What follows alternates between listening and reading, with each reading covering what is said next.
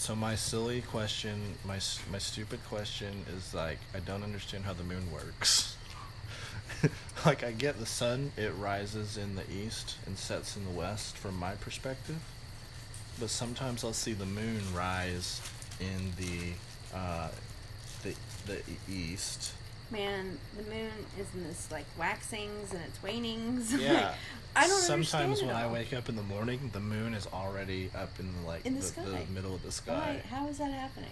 I don't understand. Yeah, I don't understand it either. like, But sometimes I see it rise like the sun does, great. and then. Uh, Slowly, it looks really big. But then first. sometimes I can't even see the moon.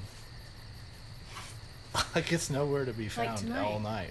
It's nowhere it's always after because it's the full moon, so it like hides after it gets tired after the full moon. It's like I need a couple of days off. It's my weekend.